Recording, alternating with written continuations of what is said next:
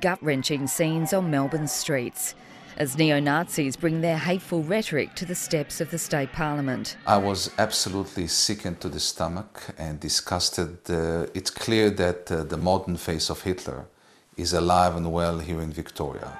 We just don't want to see this kind of behaviour in a safe and multicultural and welcoming Victorian community. While clearly offensive, it's not currently illegal to perform a Nazi salute.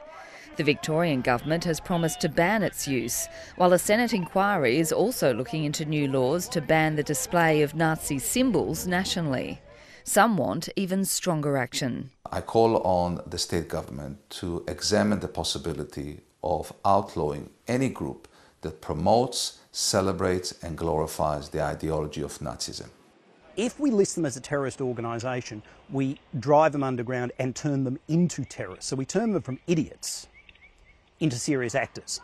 The public display of the Nazi swastika has been outlawed in a number of states and territories, but Nazi memorabilia continues to be available for sale on local websites. Uh, this is a very lucrative trade. Uh, we are seeing many auctions both online but also physically, and it's happening across the nation. The federal government has labelled yesterday's rally unspeakably un Australian.